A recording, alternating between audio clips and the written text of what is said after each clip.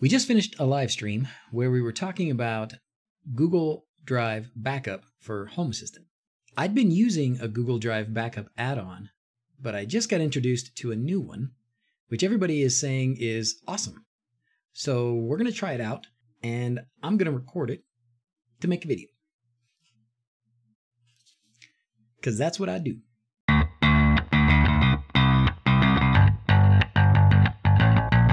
So this is the first time I'm walking through this, but I bet we can figure it out. This is the add-on. Okay, installation, you go to the add-on page and you add this URL. So we'll do that, copy, Hass.io, add-on store, new repository URL, add. Bingo. Now it's probably going to be down here at the bottom. Right here. This is the other one I was using, which has been fine, but we'll try this one out too a complete and easy way to back up on Google Drive. Create a snapshot, configured schedule, clean up old snapshots, recover quickly from a disaster, that's important. Notifies you when something goes wrong, super easy installation, simple understandable interface, privacy centric design philosophy, comprehensive documentation, most certainly doesn't mind Bitcoin on your home automation server. Definitely no. Good, that's nice. Install. Go back to the instructions. Click install. Take note of the default configuration options. Most people, the default settings are sufficient. Max snapshots in Hass.io to store locally and before the old ones are deleted. Okay, max snapshots on Google Drive. Okay. Google Drive gives you 15 gigabytes of free. Some snapshots can get really big, so watch that. Days between snapshots. How often do you want your snapshots to be taken? And then use SSL, whether or not you use SSL for DuckDNS, etc. It's installed.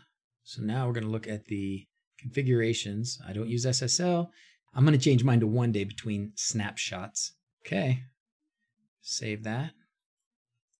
Once you start the add-on, it will start cleaning up old snapshots immediately. Snapshots.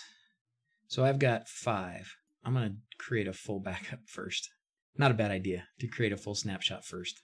Okay, our new snapshot's done. So now I'm pretty secure that I've got at least the most up-to-date stuff saved. Now we'll go back to this Hass.io Google Drive backup. There's also this backup Hass.io to Google Drive, which is different than the Hass.io Google Drive backup. Click Start. Watch the logs.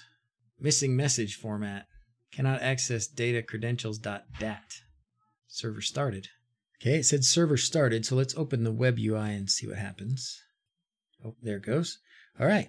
To begin this add-on, you will need to access your Google Drive. On your first backup, it will create a new folder at the root of your My Drive where future backups will be stored. Once it's created, you can move the folder wherever you want. Okay, cool. It already knows how many snapshots I have. That's nice. Once you authenticate with Google Drive, the oldest two snapshots will be deleted because I said I wanted the four newest to get backed up. All right, let's authenticate with Google Drive. Okay, sign in allow Google Drive to do whatever it wants to do. Should be directed to, oh, in a moment. Ah! I think this is the problem. And if we go to the add-on, it's going to say cannot access credentials.dat.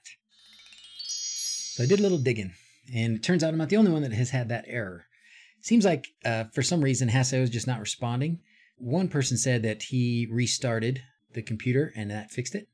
So I just went to Proxmox and I restarted Hass.io from there, like the whole virtual machine. So it's back up now. We're going to go in there and see if that made any difference. So back to Google Drive, this one, open web UI. If you select, okay, it fixed. And now it's updating. So if you get that same error, just go in and restart and it seems to do the trick. Looks like it's uploading now. Awesome. That was pretty easy. I gotta say, uh, definitely want to send error reports if I get them. So sweet. Now we're just going to wait for it to back up. Check back on it in a bit. There it is. All done. And then if you go to Google Drive, there will be a folder called, here it is, Hass.io snapshots is where that add-on will put your snapshots, and there they are. So what, what else do we have here? We've got actions. What can we do? Delete, download, restore, restore this now overriding the current configuration. Oh, okay. So that'll just do, oh, that's interesting. So you can just manage your backups from right here. You don't have to go to the snapshots page in Hass.io and then never delete. Keep this snapshot indefinitely. Hmm, cool. All right. Well, that's pretty awesome. I guess the only other things you can do, if, if you look at these options, there are some other options. You could set what time of day it back up, backs up and stuff like that. We can actually update some of these configuration settings through the user interface. So here's my user interface. It's kind of jumbled up with this text. Maybe my screen is too small. Right here, there's a settings gear. Click that guy. And here you can make the changes that we actually set up in the config box. So most add-ons have that configuration box and you can put these things in there if you're comfortable doing that, if you like doing that, or you can do it right here through the web user interface and these settings. This is cool. So I can change how many snapshots I keep on Home Assistant or in Google Drive. I'm actually going to change my Home Assistant one to only like two. And then the snapshot time of day to 24 hour clock, hour, then minute. So I'm going to do it at 6 a.m. every morning. That's the time I like to do my backups. It's a good time to do backups. You can also add a password to your snapshots to keep your snapshots protected. Very cool. You can change the naming if you'd like, snapshot, something, something, blah, blah, blah, blah. Great. Looks like it's already enabling staleness notifications. So if the snapshot didn't work, UI server options require login, okay, or US, or SSL. Great. If you want to do those things, you can. What does keep generational snapshots do? Oh, okay. So you could keep like three daily snapshots and one weekly snapshot. Even if this was the oldest, it wouldn't delete it. That's cool. And then this I liked a lot. I was just peeking at this. Partial snapshots decide in here if you don't necessarily want to back up every add-on. I'm going to take some of my add-ons off, not back them up.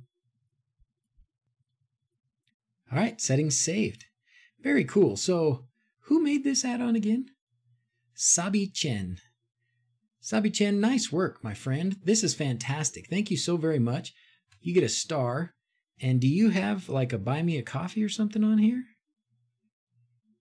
You should because you are saving us all a whole lot of trouble. I don't see it. So, Sabeechen, if you have a way for us to say thank you by throwing you a couple bucks, let us know. Let us know where to do that. Okay? Appreciate your work, my friend. This is fantastic. This is a really, really good, very useful Google Drive backup system. So, thank you very much. That's it. As always, thanks for watching. Till next time, adios.